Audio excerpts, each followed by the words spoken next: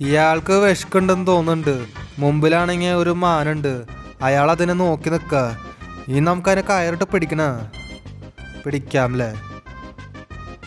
അയാളങ്ങനെ ആ മാനിനെ കയറിട്ട് പിടിച്ചിട്ടുണ്ട്. അതിനെ വെട്ടി എറിച്ചാക്കി കഴിഞ്ഞു. നമ്മുടെ നാട്ടിലൊക്കെ ആണെങ്കിൽ മാനിനെ പിടിച്ചു കഴിഞ്ഞാൽ ഇപ്പോൾ കേസായി തന്നെ. ഇവർക്കൊന്നും കുഴപ്പമില്ല. ഓ ഇയാൾക്ക് ഒരു ലൈറ്റർ കൊടുക്കാം. അയാളങ്ങനെ അവിടെ വിറകൊക്കെ കത്തിച്ചു. ആ മാനിനെ അവിടെ ചുട്ടെടുത്തു. അതാ അവിടെ ഇരുന്ന് കഴിച്ചോളൂ.